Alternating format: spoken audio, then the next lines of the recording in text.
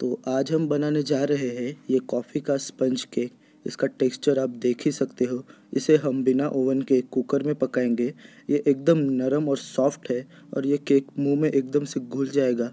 तो ये रेसिपी आप एक बार तो ज़रूर ट्राई करना, क्योंकि ये बनाने में भी बहुत ही आसान है। अभी तक आपने अगर चैनल को सब्सक्राइब नहीं किया होगा तो सब्सक्राइब कर देना और साथ ही में बेल आइकन को भी प्रेस कर देना। तो मैंने यहाँ पर सबसे पहले एक बाउल लिया है। उसमें अब मैं डालूँगा दो चम्मच कॉफ़ी।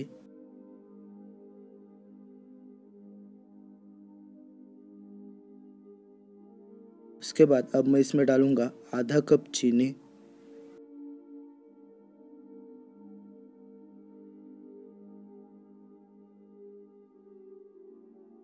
अब मैं इसमें डालूँगा दो से तीन चम्मच दूध और इसे अच्छी तरह से फेंट लूँगा। इसे अच्छी तरह से फेंट लेना। अगर आपको दूध की और ज़रूरत पड़े तो और एक दो चम्मच डाल लेना।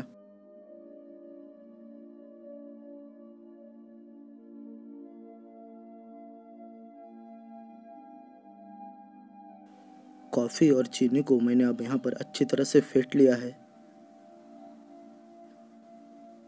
अब इसमें मैं डालूँगा तेल। जितने हमने शक्कर ली है, उससे आधा हम तेल लेंगे। और तेल को भी अब एक बार कॉफ़ी के साथ अच्छी तरह से मिक्स कर लेंगे।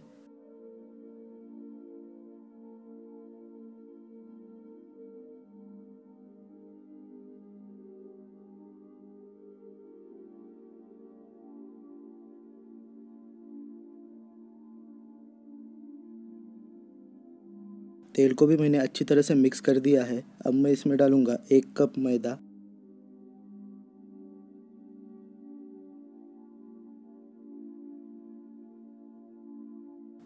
उसके बाद अब मैं इसमें डालूँगा एक छोटा चम्मच बेकिंग पाउडर।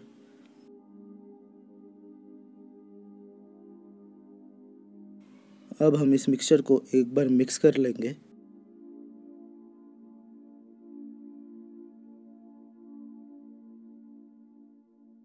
फिर हम हम इसमें धीरे धीरे करके दूध मिलाएँगे। दूध हमें लगभग आधा कप लगेगा।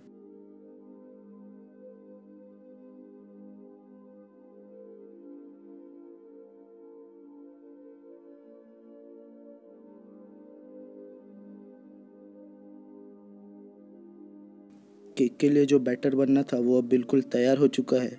मुझे यहाँ पर आधा कप दूध लगा है। आप इसकी कंसिस्टेंसी भी एक बार देख लो।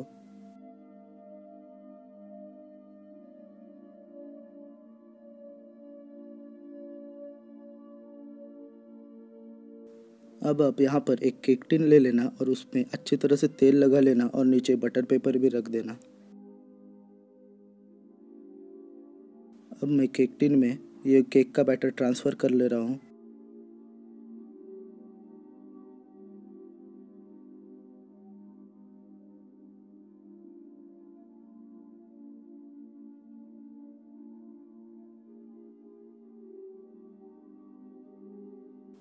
बैटर ट्रांसफ़र कर लेने के बाद हम इसको अब दो तीन बार टैप कर लेंगे, जिसकी वजह से अंदर जो एयर बबल्स है, वो नहीं रहेंगे।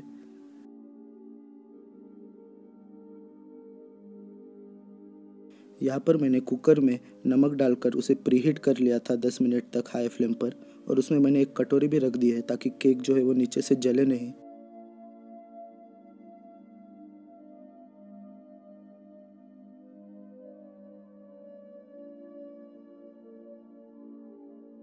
अब मैं यहाँ पर कुकर में केक टिन रख दे रहा हूँ। कुकर में से हम सीटी और गैसकेट को अलग कर देंगे और इस केक को मीडियम फ्लेम तक 30 मिनट तक पका लेंगे। 20-25 मिनट बाद आप एक बार केक को चेक भी कर लेना।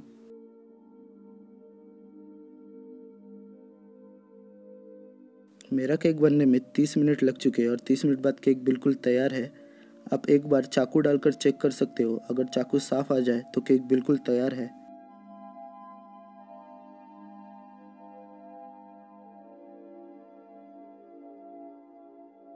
केक को मैंने निकाल दिया है। अब इसके ऊपर मैं गीला कपड़ा रख दूँगा और केक को पूरी तरह ठंडा होने देंगे। इसकी वजह से केक जो है वो और भी नरम हो जाएगा।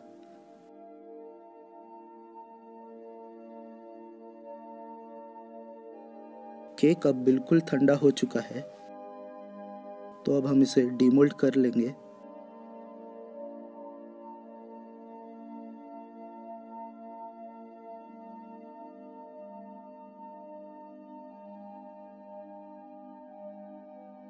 मैं आपको यहाँ पर अभी केक का एक पीस कट कर कर भी दिखा देता हूँ। ये केक बहुत ही नरम बना है और ये खाने में बहुत ही टेस्टी लगता है। इसका टेक्सचर भी जो है वो बहुत ही बढ़िया आया है और एकदम सॉफ्ट और मुँह में घुल जाने वाला केक है।